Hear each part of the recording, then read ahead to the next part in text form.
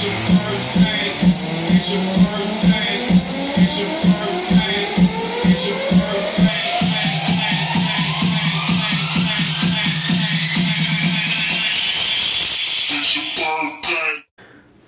माता दोस्तों, एक एस में आपका स्वागत है। आज के इस वीडियो में आप लोग एफ़ एन के टी सिक्सटी एक्स की, जो कि एक टावर स्पीकर है, और एफ़ एन के सिक्स थाउज़ेंड यू की, जो कि एक five point one home theatre है। इन दोनों की साउंड कंपैरिजन करने वाला दोस्तों।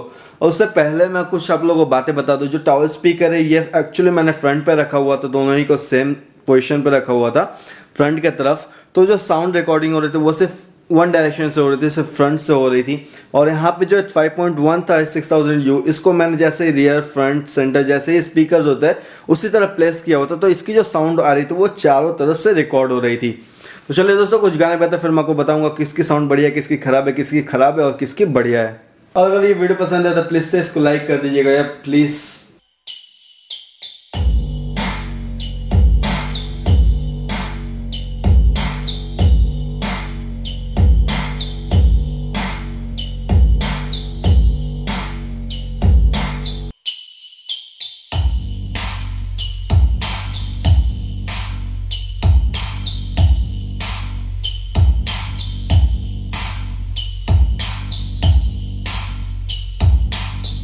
तो दोस्तों, जैसा कि आप लोगों ने इन दोनों की साउंड सुनी तो यहाँ पे जो साउंड की लाउडनेस है, वो दोनों ही होम थिएटर की काफ़ी बढ़िया है, काफ़ी अच्छी है।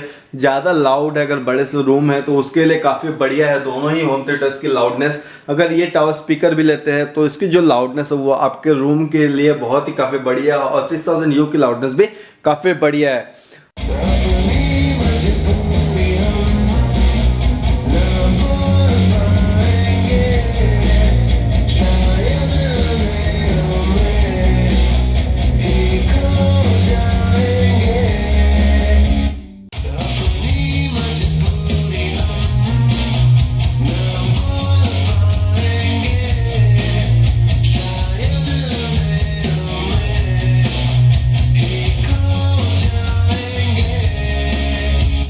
और बात करते हैं दोस्तों क्लैरिटी की। तो जो क्लैरिटी आती है दोस्तों, वो दोनों ही होम थिएटर्स की काफ़ी अच्छी है, अगर इंडिविजुअली देखे तो। बट साथ में जब भी इन दोनों को साथ में अगर देखते हैं तो दोस्तों, जो सिक्स थाउज़ेंड यू है, उसकी जो क्लैरिटी वो काफ़ी अच्छी आती है। क्योंकि जो स्पीकर है, उनको हमने जैसे प्लेस करना है, जैसे फ्रंट के जो स्पीकर है सेंटर के स्पीकर और रियर के स्पीकर को जैसे हम लोगों ने प्लेस किया हुआ है उस हिसाब से जो साउंड आती है, अगर बीच में आप बैठे हो चारों तरफ़ में जो साउंड आएगी तो उसकी जो क्लैरिटी वो काफ़ी अच्छी आती है। फ्रंट फेसिंग जो सामने की तरफ़ अगर फेस करते हैं टावर स्पीकर्स को, उसके मुकाबले। बट जो टावर स्पीकर्स की क्लैरिटी वो भी काफ़ी अच्छी है मतलब खराब नहीं है। बट ये दोनों का कंपैरिजन करने के समय आपको समझ में आता है कि क्लैरिटी ज़्यादा एफ़ सिक्स थाउज़ेंड यू की अच्छी है।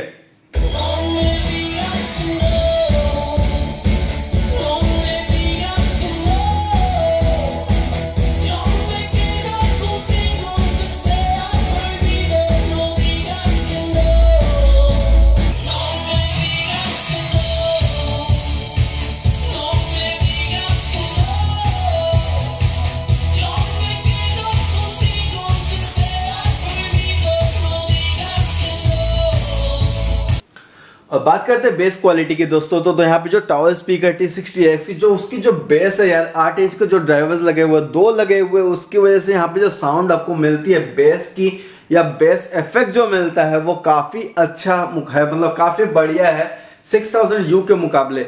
बट जो सिक्स थाउज़ेंड यू की जो आपको ऊपर मिलती है आठ इंच के ऊपर उसके भी है बट जो उसकी भी जो बेस क्वालिटी है वो भी काफ़ी अच्छी है और काफ़ी थम्पिंग इफ़ेक्ट उसमें भी आता है। बट अगर बेस चाहिए, ज़्यादा चाहिए तो T60X काफ़ी अच्छी ऑप्शन है आपके लिए, क्योंकि यहाँ पे जो बेस मिलता है वो काफ़ी ज़्यादा शेक करती है और काफ़ी ज़्यादा बढ़िया साउंड भी करती है।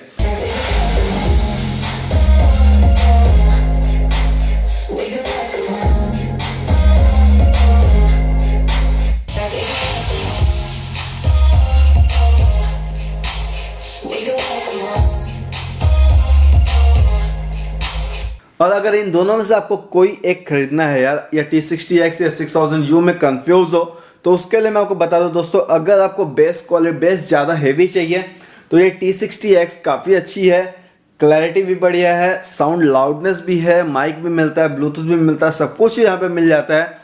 बट अगर क्लैरिटी चाहिए और 5.1 इफ़ेक्ट चाहिए विथ मतलब ग्रेट बेस मतलब इसमें भी बेस काफ़ी बढ़िया है। अगर उस तरह की बेस चाहिए तो दोस्तों, ये एफ़ सिक्स थाउज़ेंड यू काफ़ी बढ़िया ऑप्शन है और अच्छी साउंड आती है इसमें। आपको जो रूम अगर आप इसको ठीक तरीके से लगाए प्लस अगर ठीक तरीके से इनपुट दे 5.1 इनपुट तो जो साउंड क्लैरिटी क्वालिटी जो आएगी, वो काफ़ी अच्छी आएगी इसके मुकाबले टी सिक्सटी एक्स के मुकाबले।